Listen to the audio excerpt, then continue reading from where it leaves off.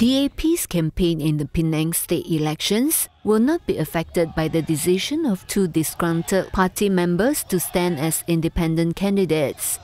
State DAP Chairman Chow Kon Yeow, who is also Penang Pakatan Harapan Chairman, told reporters after nominations for the state post on Saturday that the party had not received any information about boycotts by supporters of incumbent assemblymen not nominated to defend their seats.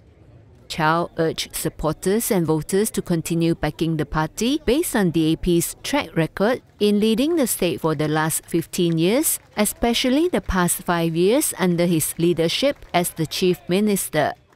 Chow is defending the Padang Kota seat in a street fight with Perikatan Nasional candidate Heng Kun Ling, who is from Gerakan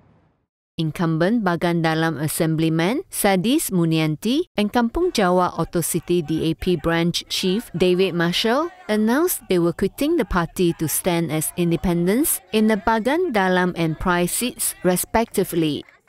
Meanwhile, during a press conference at Wisma DAP later, Chow said the unity government will launch the Penang Unity Manifesto on August 1st at the Butterworth Arena for its 40 candidates in the 15th state election.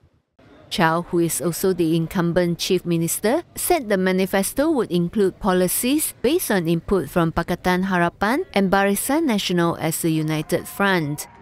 He said this was the first time that the state's manifesto would be introduced as a unity manifesto and the candidates introduced as unity candidates following the alliance between Pakatan and Barisan.